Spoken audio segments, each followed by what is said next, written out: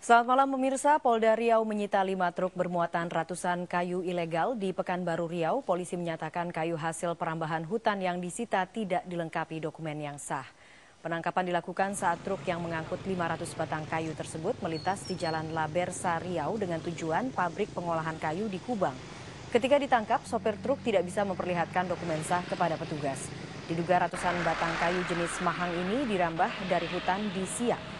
Saat ini barang bukti disita untuk kepentingan penyelidikan dan kasus akan dilimpahkan ke Direktorat Reserse Kriminal Khusus Polda Riau.